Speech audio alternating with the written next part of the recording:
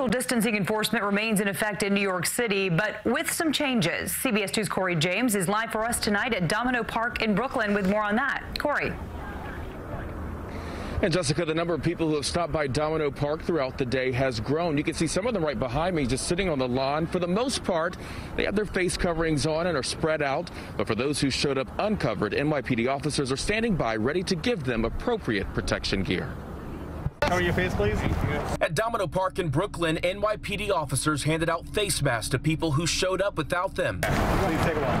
Thank you very much. I do think it's great that they're handing them out and trying to I know, assist as much as possible. Over in Manhattan at Hudson River Park, it was the same story. Officers were monitoring near Pier 45 after this video showed too many people too close together last week. There were a ton of crowds, people congregating all across the lawn. This week it seems a lot different. There are people who are responsibly spaced out. There are police officers sort of at every little and enclave, um, making sure people have masks. While Mayor de Blasio says there have been fewer than 10 summonses a day across the city, he announced Sunday next week in the city will increase the number of social distancing ambassadors who are civilian city employees and will educate the public.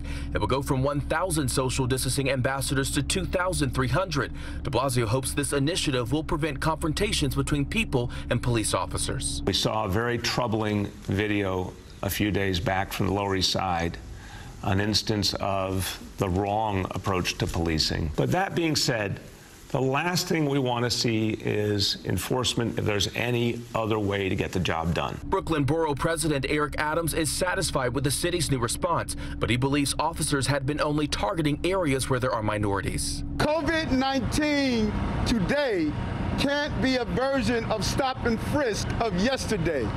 The numbers speaks for themselves.